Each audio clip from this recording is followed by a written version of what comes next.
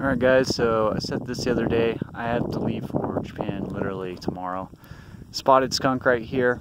Uh, I'll make sure to dispatch from this from the distance and take a lung shot, not the head. Uh, learning from last year and hopefully I can harvest the glands. So yeah, just in the tree there. If I can zoom out.